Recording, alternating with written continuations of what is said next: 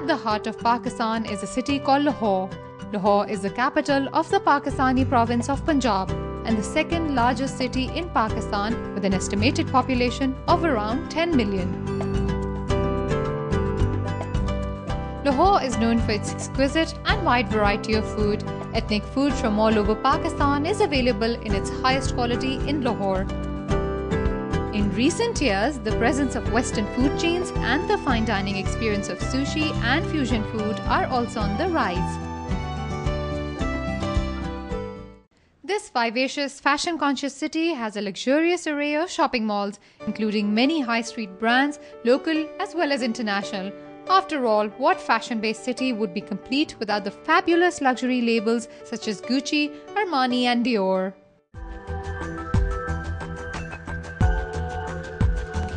With health clubs and spas that match international standards, Lahore also hosts the Royal Palm Golf and Country Club, which is known to be one of the best golf courses in Asia. The city pays special attention to the infrastructure of healthcare as many private and general hospitals are equipped with specialized medical staff and the latest medical equipment. Rescue 1122, which is the emergency rescue medical service in Pakistan, is operating to international standards. The service provides efficient and effective rescue and transportation to the helpless victims of accidents and emergencies. I have been here 47 years. I'm the manager of the Lahore International Association, which is, in short, a club for expats living and working in Lahore. The International Club is somewhere we can come, which is a home away from home, and it's more like our normal life in New Zealand or Australia or South Africa or anywhere in Europe. We have a very nice clay tennis court. We have an excellent swimming pool. We have a full fledged kitchen, and we are running the only real legit bar in Lahore.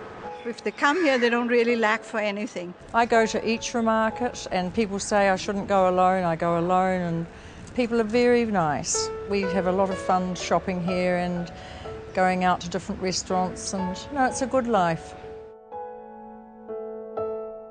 Today, the multicultural diversity of this city is quite noticeable, which is reflected by its calm social environment, infrastructure, and sophisticated consumer market. Tetra Pak has been in Pakistan for more than 27 years. Although Tetra Pak Pakistan was inaugurated in 1982, its story can be traced as far back as 1968. Founded by Akerlund and Rausing, Tetra Pak Pakistan started its life under the umbrella of Packages Limited, which is headquartered in Lahore with a factory. Hello, Pakistan. Uh, my name is Dimitri Smolin. I uh, uh, worked as a factory director in, the, in Lahore for five years. Regarding the security in the country, I must say that if you watch uh, CNN, BBC, and read some Western newspapers, and then after doing that you come to the country, you will see that the security situation is um, five times better. And the people you meet are hundred times better than what you expect. I traveled quite actively from Karachi to Islamabad, Khartoum, often driving myself. Uh, my family stayed with me. Both of my kids were born during our stay in Pakistan. We lived in defense, very close to the factory. We felt quite safe. We traveled all around uh, Lahore. Uh, I traveled with my kids to the north of the country, and um, we, we spent a very good time. My name is Nejat Çalışkan. I'm the sales director in Tetra Pakistan. In the last two years, I'm working in Lahore.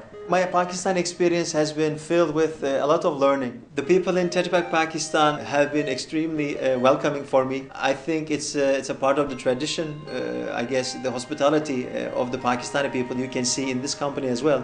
I have my family with me, with my wife and my seven-year-old son. They enjoy Pakistan a lot. My wife found some Pakistani friends as well as some in the international community. From time to time, we get together with, with friends and go out to restaurants and, and have fun. I realized that there is a quite a different uh, picture of Pakistan outside of Pakistan. Of course, those things do happen uh, here. There's no denial of that, but that is a small part of what impacts your life. I had no issues of security when it comes to going out at night or any time. I think the future of Pakistan is going to be bright.